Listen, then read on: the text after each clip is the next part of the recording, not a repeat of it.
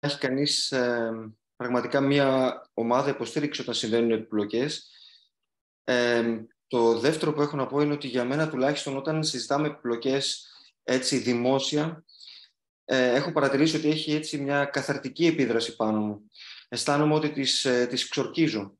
Ενώ ε, όταν ε, τις βιώνω μόνος μου ή μόνο μέσα στα πλαίσια μιας ε, μικρής ομάδας, ε, αισθάνομαι καμιά φορά ότι ε, σαν να κρύβομαι ή σαν να βάζω λίγο την σκόνη κάτω από το χαλί. Όπως και να έχει, ε, θα ξεκινήσω με τους λόγους για τους οποίους, κατά τη γνώμη μου, συμβαίνουν ε, επιπλοκές ε, στην νευροχειρουργία αλλά και στην ιατρική γενικότερα. Νομίζω ότι οι αιτίες ε, είναι τρεις. Είτε πρόκειται για σφάλματα αντίληψης, ε, δηλαδή βλέπουμε μια μαγνητική, νομίζουμε ότι είναι ένα χρόνικο σκληρή και στην πραγματικότητα είναι ένας ε, εξωτερικός υδροκέφαλος, ένα παράδειγμα. Αυτά τα σφάλματα αντίληψης προέρχονται είτε επειδή εκείνη τη στιγμή το μυαλό μας πήρε τη λάθος τροφή, να το πω έτσι, είτε επειδή πολύ απλά ε, δεν κατανοούμε αυτό που βλέπουμε. Ε, μετά έχουμε τεχνικά σφάλματα και αυτά είναι κυρίως οι επιπλοκές που συμβαίνουν κατά τη διάρκεια του χειρουργείου, λάθος χειρισμοί ε, και τέλος έχουμε τα σφάλματα κατά τη γνώμη μου λόγω λοιπόν δεδομένων.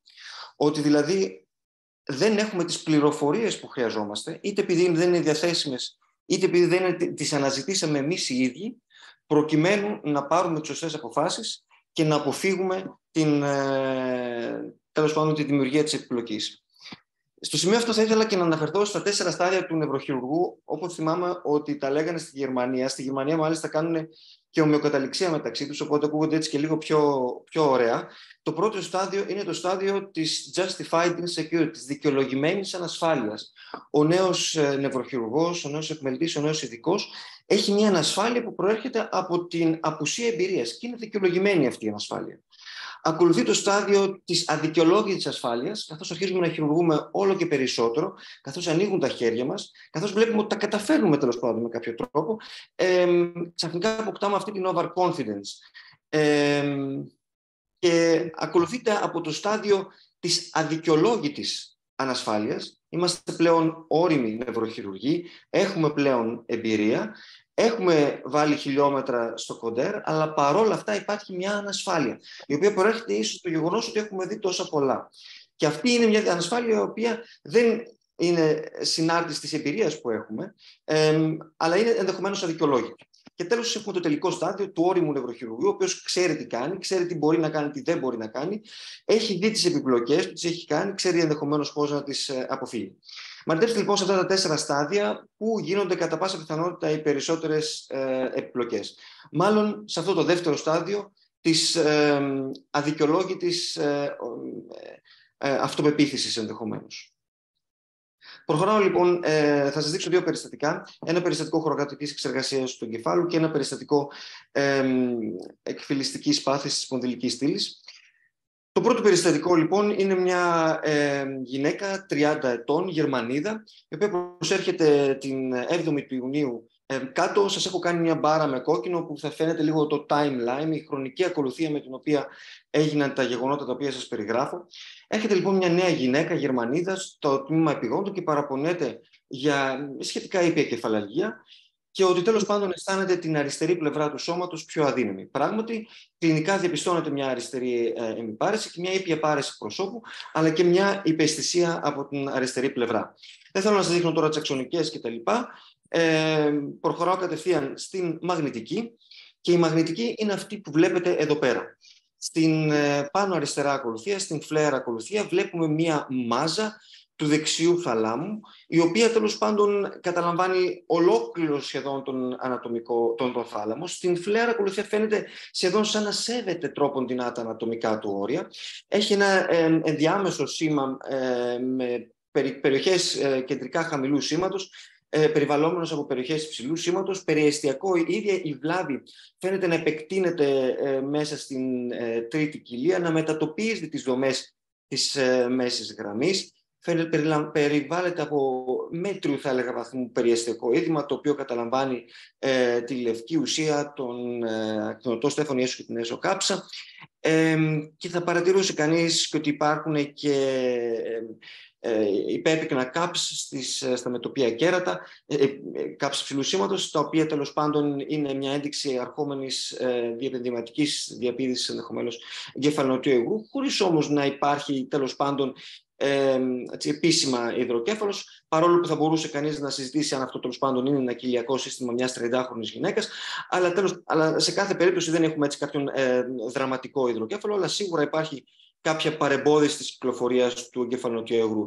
Σε ακολουθίες διάχυσης, όπως βλέπετε στο ΣΕ, υπάρχει, δεν υπάρχει καμία ιδιαίτερη, κανένας ιδιαίτερος περιορισμός της διάχυσης ε, και η εικόνα, του, η εικόνα τα φαίναμε σκιαγραφικό είναι αυτή ε, τέλος πάντων της ανομοιογενούς πρόσληψης ε, σκιαγραφικού με τη μορφή γυρλάντας, βλάβες οι οποίες ε, στις, ε, ε στις οβελίες του ΜΕΣ δεξιά φαίνεται έτσι σαν να σειραίουν μεταξύ, μεταξύ τους, αλλά όχι ακριβώς.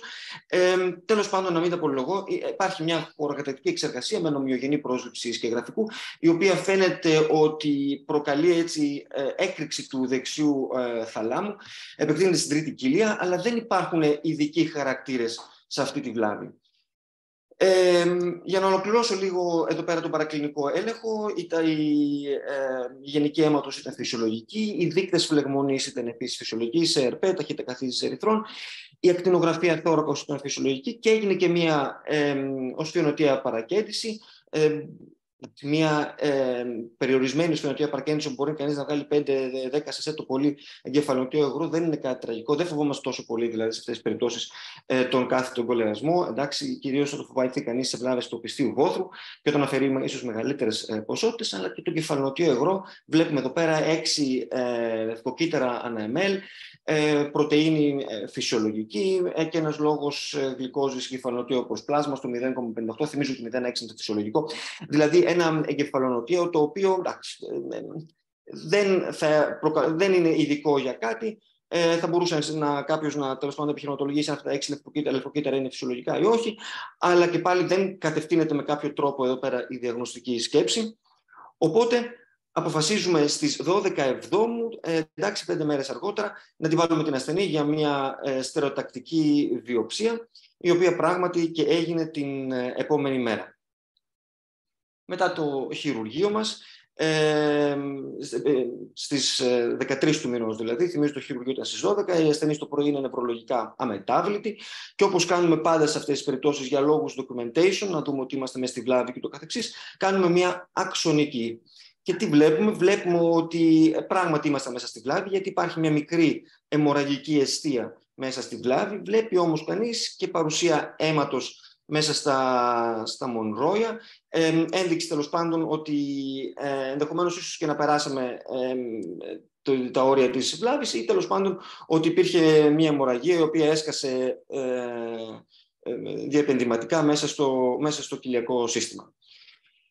Μεταφέραμε όμως παρόλα αυτά την άρρωση στη μονάδα δυτική θεραπείας, όπως ήταν το πρωτόκολλο ε, στο Βερολίνο. Το περιστατικό αυτό είναι από το 2017.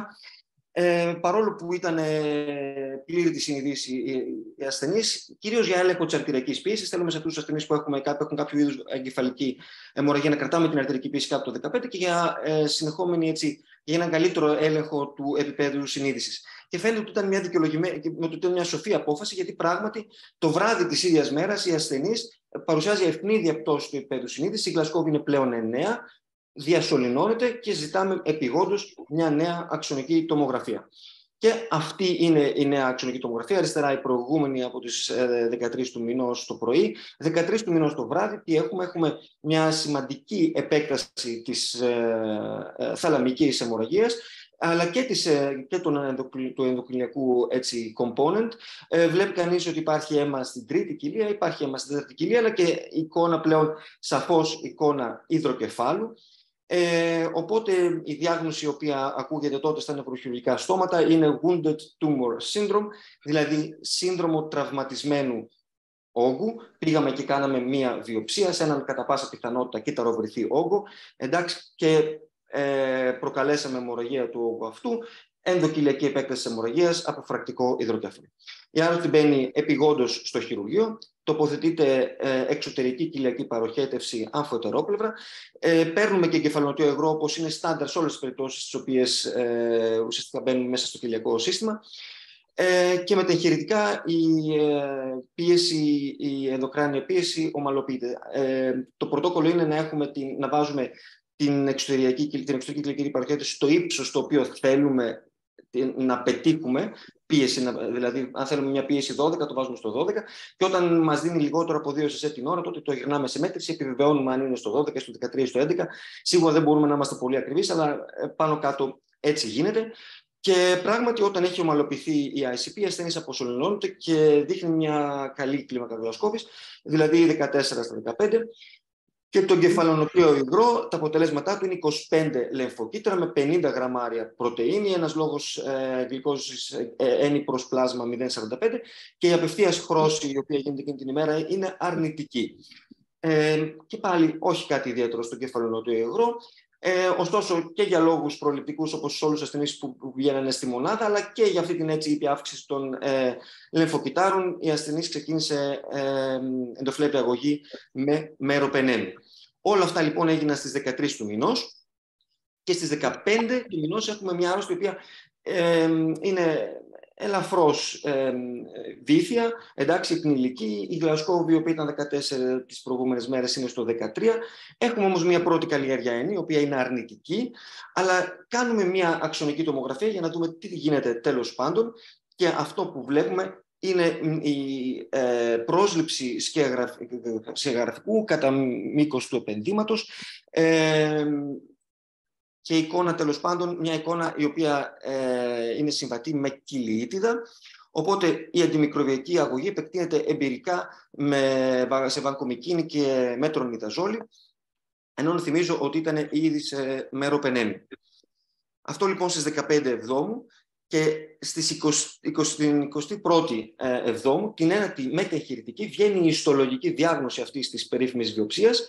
Ε, εννέα μέρες έκανε και η οποία λέει κοκκιώματα περιβαλλόμενα από κάψα, αποτελούμενα από εινοβλάστε, κολαγών, επιθυλαϊκά κύτταρα, γιγαντοκύτταρα τύπου Λάγκαν και λεφοκύτταρα, εικόνα που θέτει την υποψία φυματιώδους κοκκιώματο.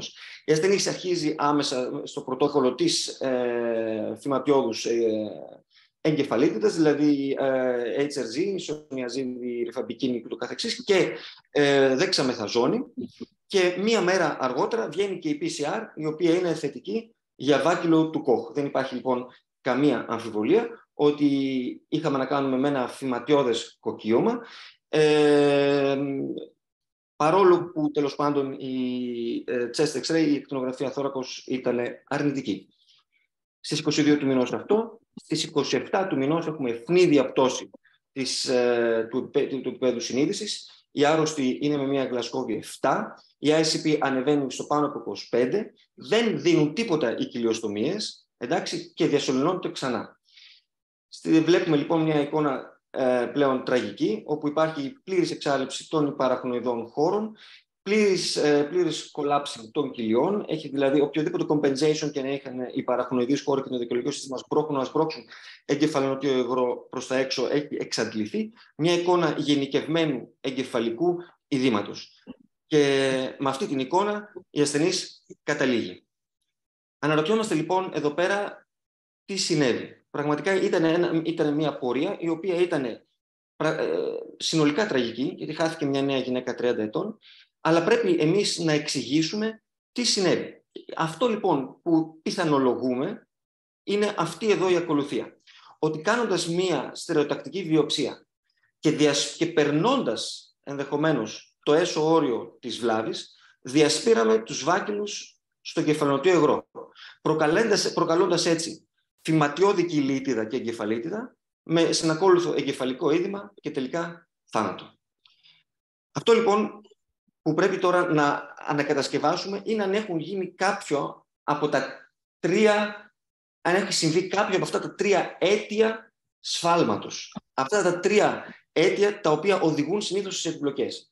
Υπήρχε κάποιο πρόβλημα αντίληψης, δηλαδή ήταν η διαφορική μας διάγνωση σωστή. Σκεφτήκαμε το λιμώδες νόσημα. Εδώ πέρα έχω, έχω να απαντήσω ότι η διαφορετική μας διάγνωση ήταν αυτή της χωρακτική εξεργασίας. Ναι, σαφώς όταν βλέπει κανείς κάτι τέτοιο, το πρώτο πράγμα που θα σκεφτεί είναι το όγκος. Ο όγκος δεν σα κρύβω. Αλλά το λιμόδε νόσημα το σκεφτήκαμε. Κοιτάξαμε το diffusion στο MRI, δεν υπήρχε κάποιος περιορισμός της διάχυσης. Κάναμε ακτινογραφία θώρακο, σκεφτόμουν μήπως είναι κάποια παρασίτωση. Κοιτάξαμε το νοσοποιητικό του σύστημα με το whole blood count. Στείλαμε εγκεφαλονοτίο υγρό. Εντάξει, το, το λιμόδε νόσημα το σκεφτήκαμε. Απλώς δεν καταφέραμε να το επιβεβαιώσουμε. Ζητήθηκε ο πλήρης και σωστός παρακλινικό έλεγχος. Υπήρχε κάτι άλλο το οποίο θα μπορούσαμε να είχαμε ζητήσει. Θα μπορούσε δηλαδή εδώ πέρα μια perfusion να μας είχε δώσει περισσότερες πληροφορίες ή μια σπεκτροσκοπία. Λοιπόν, αυτό που έχω να πω για την perfusion είναι ότι η perfusion στο, στο φυμάτωμα του εγκεφάλου συνήθως δείχνει αυξημένη αιμάτω, ε, φυσιολογική έως και αυξημένη αιμάτωση. Κατά πάσα πιθανότητα δηλαδή, εάν πέραμε ένα τέτοιο αποτέλεσμα, πάλι θα χρειαζόταν βιοψία, γιατί προφανώς δεν θα ήταν ειδικό. Η σπεκτροσκοπία στο θυμάτωμα συνήθως δείχνει αυξημένα λιπίδια, χαμηλό ε, νιασέτιλ aspartate και ένα λόγο χολίνης προς ε, κρεατινίνη, ο οποίος είναι μεγαλύτερος από, από το 1, αλλά μικρότερος από το 1,5. Μάλλον εδώ πέρα θα είχαμε δηλαδή ένα ε, χολίνη προς κρεατινίνη λίγο παραπάνω από το 1, αλλά όχι αυτό που θα περίμενε κανείς ένα γλιοβλάστομα. Και πάλι όμως η βιοψία θα ήταν αναπόφευκτη. Έγιναν οι, χειρουργικοί μας χειρισμοί σωστά. Θα έλεγα πως ναι, με την έννοια ότι έγινε μια στερεοτακτική βιοψία, αλλά απ' την άλλη τώρα ενδεχομένως αυτή η στερεοτακτική βιοψία να πέρασε ε, το έσω όριο του όγκου, ενδεχομένως και όχι, αλλά τουλάχιστον ε, σφάλμα να μπορέσει να το αντικειμενοποιήσει κανείς δεν υπήρχε. Και τρίτον, ήταν οι πληροφορίες όπως αυτές ήταν διαθέσιμες στη διάθεσή μας αρκετές. Αναζητήσαμε εμείς τις σωστές πληροφορίες. Και όταν τις ζητήσαμε, ήταν στη διάθεσή μας, πήραμε το ιστορικό της ασθενού αυτού επαρκώς. Θα το δούμε. Ήταν οι απεικονίσεις ε, αυτές που θα έπρεπε. Όπως είπα, νομίζω δεν θα μπορούσε κανείς από απεικονιστικής άποψης να κάνει κάτι παραπάνω. Ζητήθηκε γενική έννοια, ζητήθηκε καλλιέργεια έννοια και ζητήθηκε και PCR έννοια, που πρέπει να πούμε ότι στις περιπτώσεις φυματιώδους ε, του εγκεφάλου, το gold standard για την ανείχνευση είναι η ανείχνευση του, του βάκυλου του κόχου στο acid fast staining. Εντάξει, αλλά αυτό μπορεί να κάνει δύο και τρεις εβδομάδες. Επίσης, το PCR, πέρα από ότι είναι πάρα πολύ κόστοβόρο, είναι και χρονοβόρο. Εντάξει, δηλαδή, η PCR επίσης κάνει αρκετές μέρες ε, για να βγει, αλλά και σε κάθε περίπτωση η στερεοτατική βιοψία ήταν αναπόφευκτη. Αυτό όμως που εκ των υστέρων μάθαμε για αυτή την άρρωστη είναι ότι εργαζόταν 8 μήνες του χρόνου σε κρουαζερόπλο και τον προηγούμενο χρόνο είχε διαμονή στην Ανατολική Ασία, Ταϊλάνδη, Βιετνάμ, Σιγκαπούρ, όπου τέτοιες παρασιτώσεις είναι ενδυμικές. Εντάξει, ίσως αυτή η πληροφορία να είχε κατευθύνει τότε περισσότερο την ε, σκέψη προς την κατεύθυνση της ε, παρασίτωσης.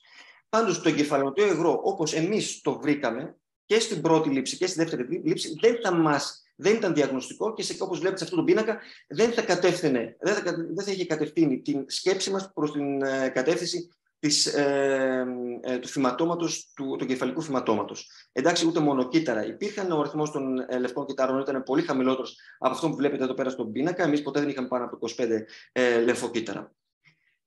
Αυτό που πιθανολογώ ότι μπορεί, ότι πιθανολογούμε ότι ε, συμβαίνει σε αυτές τις περιπτώσεις είναι ότι καταρχήν να πούμε ότι το φυμάτωμα ή αλλιώς φυματιώδη που πούμε τον κεφάλαιο είναι εξαιρετικά σπάνιο. Μία στις 300 ε, αθεράπευτες φυματιώσεις. Εντάξει, αυτό που συμβαίνει είναι ότι οι βάκελοι με έναν μηχανισμό τέλος πάντων ε, παραγωγής συντερλευκινών διαπερνούν τον αιματοκεφαλικό φραγμό, τον διασπούν τοπικά και πάνε και εγκαθίσταται στον εγκέφαλο, αυτομάτως ε, αρχίζει μια τοπική αντίδραση έτσι ώστε να δημιουργηθεί ε, αυτό το, η αιστεία REACH, όπως λέγεται, και οι οποίες αυτές οι αιστείες REACH γύρω από ε, συνοθηλεύματα ε, βακύλων ε, τις περιχαρακώνουν και τις αντρανοποιούν. Στη συνέχεια αρχίζει μια διαδικασία κεντρικής νέκρωσης και αυτές οι αισθήσεις σειραίουν ε, μετα, ε, μεταξύ τους, έτσι ώστε να δημιουργείται αυτή η εικόνα σειραίοντος συνοθηλεύματος, όπως περιγράφει στα βιβλία, στα βιβλία ακτινολογίας.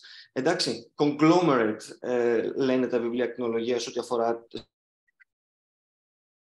την, την απεικόνηση του, του φυματώματος. Εντάξει, και πάνω κάτω έχω βάλει έτσι τέσσερις ίσως πιο χαρακτηριστικές εικόνες. Η εντελώς δεξιά θα μπορούσε να θυμίζει όγκο, η αριστερή πάει πιο πολύ προς παρασχέδωση. Όταν λοιπόν τα, τα κοκκιώματα ή οι συμπεριφορές, τα, τα, οι αιστείες rich δεν ε, έχουν σειρεύσει πλήρως, είναι λίγο έτσι πιο, ε, πιο χαρακτηριστικό ή όταν είναι η λεγόμενη miliary tuberculosis, εντάξει, από αιματογενή διασπορά, όπως έχετε στην τρίτη εικόνα. Εκεί πέρα λίγο πάει πιο πολύ το, Εντάξει, και στο post-mortem εικόνα φυματιώδους εγκεφαλίτιδας επιβεβαιώνει δηλαδή αυτό που πιστεύαμε. Ε, υπάρχει αυτό το, αυτή η ωραία τάκα. Το ίντερνετ είναι γεμάτο από πολύ ωραία έτσι, τσιτάτα. If everything we get a good experience, if everything goes wrong, we get a good story. Δυστυχώς στην ευρωχειρουργική, αν τα πράγματα ούτε η ιστορία που έχουμε να πούμε είναι καλή. Είναι μια θλιβερή ιστορία, την οποία ούτε να τη λέμε θέλουμε, ούτε να τη θυμόμαστε. Επομένως, για μας δεν μπορεί να ισχύει αυτό το ωραίο Ιντερνετικό τσιτά. Αυτό ότι καμιά φορά μπορούμε να τα κάνουμε όλα σωστά και παρόλα αυτά τα πράγματα να στραβώσουν. Σωστά ή όσο το δυνατόν καλύτερα. Και με αυτά προχωράω στο δεύτερο ε, φιλιστικής βλάβης της φύλης, και πάλι μια σχετικά νέα γυναίκα, η οποία πριν από πέντε χρόνια είχε υποβληθεί σε ε, πεταλεκτομή και αποσυμπίες της οσφυγικής μοίρας. Είχε γίνει λοιπόν ομικρον, ε, η πεταλεκτομή του όμικρον 5 και παρουσιάζεται ε, σε εμάς ε, με οσφιαλγία, νευρογενή διαλύπους αχολότητα και όμικρον και ριζοπάθεια, μάλλον έτσι κατανομής όμικρον 4, χωρίς όμως να μπω έτσι το δερματοτομικά δερματοτομικά την ε, πάθηση. Ε, κάνουμε αυτή λοιπόν τη μαγνητική κάθαρη εικόνα. Εντάξει, υπάρχει ε, νόσος παρακείμενου διαστήματος, υπάρχει μια βαριά στένωση στο 3-4, υπάρχει μια ήπια ολίσθηση του, ε, του, ε, συγγνώμη, του 3 στο 4, ναι, και υπάρχει και ο στοχονδρίτιδα στο 5J1. Εντάξει, τι προτείνουμε σε αυτή την άρθρα, προτείνουμε ξανά χειρουργείο και πράγματι γίνεται μια πεταλεκτομή στο όμικρο 3 και μια σπονδυλοδεσία από το όμικρον 3 έως το Ι1. Ε, την προσοχή εκεί πέρα στα βελάκια που βλέπετε ότι η ισχύαση είναι η εναπόθεση άφθονου ε, οστού πάνω στις κεφαλές των ε, μετά από decortication. Εντάξει, είναι μια από τις τεχνικές που κάνουμε, ιδιαίτερα όταν δεν μπαίνουν ε, ε μέσω, σπονδύλι, ε, μέσω σπονδύλι κλοβή, όπως σε αυτή την περίπτωση. Συνολική διάρκεια του χειρουργείου ε, περίπου έτσι τρεις ώρες, απώλεια αίματος 150 σε, περιορισμένη απώλεια. Δεν έγινε υπονευροφυσιολογικό έλεγχο και δεν υπήρχαν ε, με βάση το ρεπόρτ του χειρουργού και την εμπειρία του χειρουργού μέσα στο χειρουργείο ε, κάποια διαχειρητικά συμβάντα. Την πρώτη μεταχειρητική ημέρα η ασθενής παραπονέται για κεφαλαλγία, η οποία είναι σταδιακά επιδεινούμενη, επιδεινούμενη και μόνο μερικώς υφίεται με τα αναλγητικά. Και στις 24 με 48 ώρες έχουμε πλέον μια ασθενή η οποία είναι συγχυτική και βήθια με μια κλίμακα γλασκόφης 13. Επομένως, προφανώς θα κάνουμε μια αξονική τομογραφία εγκεφάλου και βλέπουμε αυτήν εδώ την εικόνα, η οποία είναι πλέον εικόνα πνευμεγκεφάλου υποτάση. Εντάξει, άρα λοιπόν με την εικόνα αυτή μπαίνει ξανά η άρρωστη ε, στο χειρουργείο επιγόντως και τι γίνεται, γίνεται μια δεξιά με το οποία κραίνω ανάτριξη και επειδή πιθανολογούμε ότι κατά πάσα πιθανότητα κάποια τρώση μήνυγας θα έχει γίνει τελείω, δεν μπορεί να έχει μπει ο αέρας εκεί μέσα, τοποθετούμε μια μεμβράνη ε, στεγανή οσφυϊκά, εντάξει, προκειμένου τουλάχιστον να, να στεγανοποιήσουμε και από τον αέρα. Ήταν ένα πρωτόκολλο τέλος πάντων σε, κάθε, σε όλες τις περιπτώσεις που είχαν διαφυγές.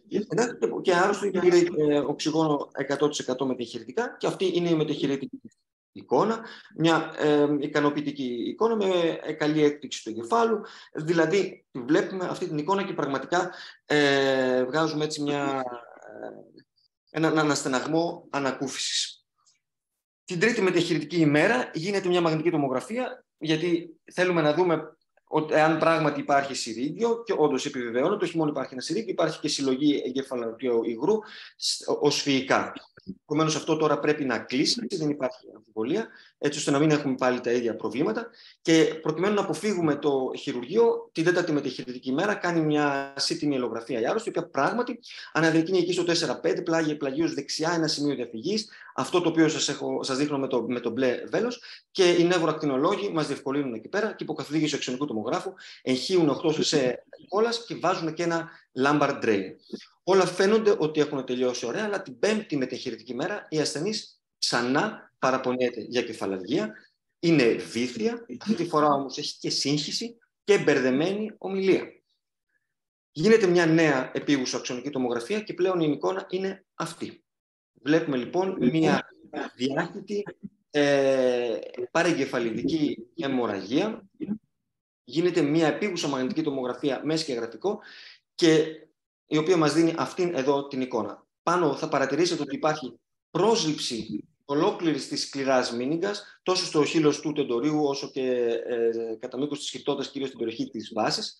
Αλλά και κάτω, όπως βλέπετε στην ευελία τομή, υπάρχει καθίζηση της παρεγκεφαλίδας, κατάδυση των αμυγδαλών πέρα από το νιακό τρίμα, ε, επιπέδωση της γέφυρας και του ε, μέσα εγκεφάλου και εξάλληψη των ε, παρακονοειδών χώρων ανάμεσα στην παρεγκεφαλίδα και, τον, ε, και το στέλεχος. Εντάξει, η διάγνωση λοιπόν είναι το σύνδρομο της απομακρυσμένης παρεγκεφαλικής αιμορραγίας, remote cerebellar, remote cerebellar hemorrhage, το οποίο είναι γνωστό ότι μπορεί να συμβεί σπανίως όταν υπάρχει απότομη πτώση της πίεσης του εγκεφαλονοτιαίου υγρού, πράγμα το οποίο συνέβη στην προκειμένη περίπτωση. Εντάξει, τώρα γιατί συνέβη θα το δούμε, αλλά θέλω λίγο να, να, να θυμίσω εδώ πέρα στους νεότερους ότι η, η σκιαγράφηση της μήνυγκας, ε, ιδιαίτερα στις περιοχές της βάσης, δηλαδή όταν βλέπετε μια μήνυγκα η οποία ανάμεσα στο γενιάτικο δέντρο, στις περιοχές της βάσης κυρίως, να σκέφτεστε πάντα το σύνδρομο υποποίησης. Και εδώ είναι μεν προφανές γιατί ξέρουμε το ιστορικό, αλλά θα υπάρχουν άλλες περιπτώσεις που δεν θα είναι τόσο προφανές. Σε κάθε περίπτωση εδώ πέρα υπήρχε πράγματι υποποίηση. Βλέποντας τώρα το φάκελο της ασθενούς εκ των υστέρων, βλέπουμε ότι ανάμεσα στην τέταρτη και την πέμπτη μεταχειρητική μέρα υπήρχε απώλεια εγκεφαλονοτίου υγρού μέσω του Lambert Drain συνεχώς πάνω από 10 σε την ώρα και σε μερικές περιπτώσεις πάνω από 20 σε την ώρα. Δεν υπήρχε καμία αμφιβολία ότι έκανε overdrainage αυτή η άρρωστη, εντάξει, με αποτέλεσμα να κάνει σύνδρομο υποπίεσης και παρεγκεφαλική αιμορραγία.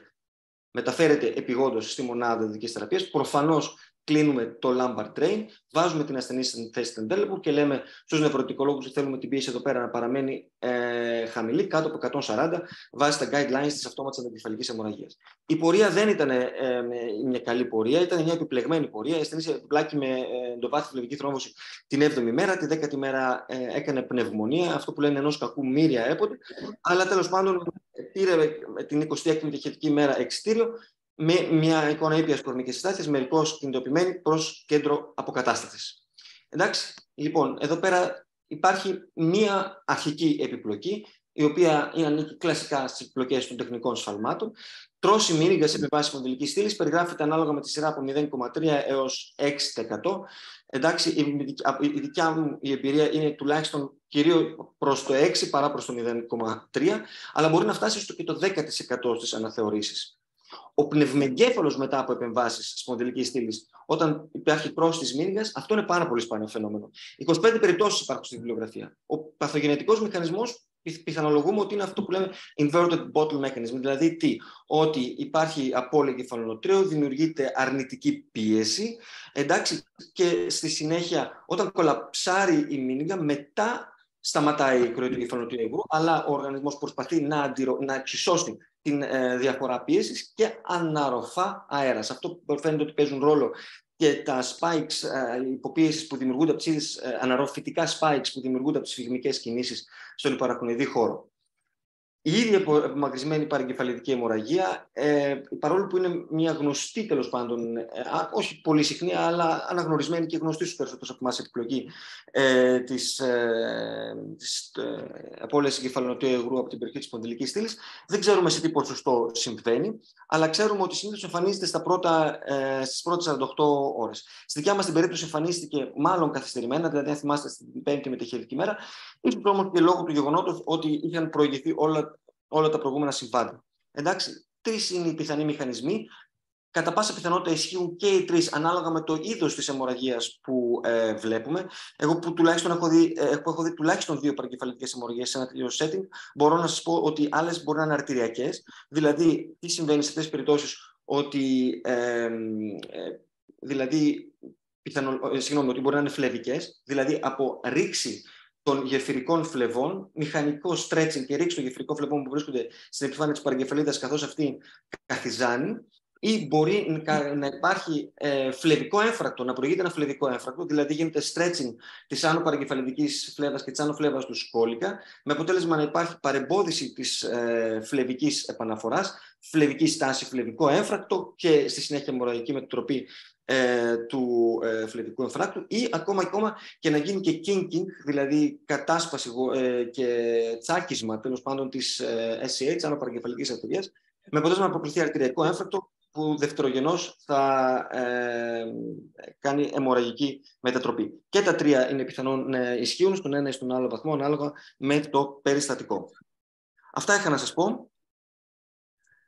Ευχαριστώ πολύ, κύριε Σταυρνού, για τα